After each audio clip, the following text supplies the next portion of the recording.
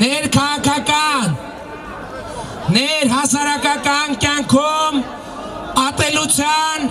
եւ վենդետայի մտնոլորտը պետք է բացառել։ Եվ ես ուզում եմ դիմել բոլոր նրանց, ովքեր մտածում են, համարում են, թե այս թեղափոխությունը թշնամական է իրենց նկատմամբ ուզում եմ դիմել բոլոր նրանց ովքեր հիմա ճամպրուկներն են հավաքում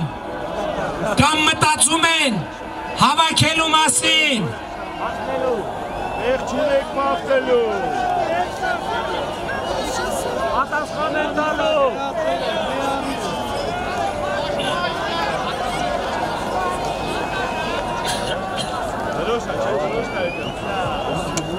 Եկեք ես հիասքանչ դրոշին ծափենք, ծափերով դիմավոր։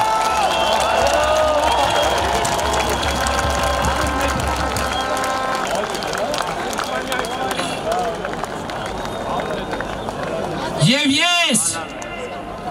ուզում եմ դիմել բոլոր այն քաղաքացիներին, գործարարներին, ովքեր գործընթացի հետ կապված եւ մտածում են թե սկսելու է վրեժխնդրություն եւ վենդետա ճամպրուկներն են հավաքում երկրից դուրս գնալու կապիտալը Հայաստանից հանելու համար հարգելիներս մի արեք այդ բանը, որովհետև վենդետա չի լինելու, որովհետև ատելություն չի լինելու, վրեժխնդրություն չի լինելու, Հայաստանի Հանրապետությունում այս պահից սկսած հաստատվելու է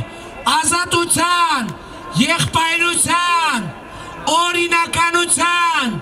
հավասարության ազգային միասնության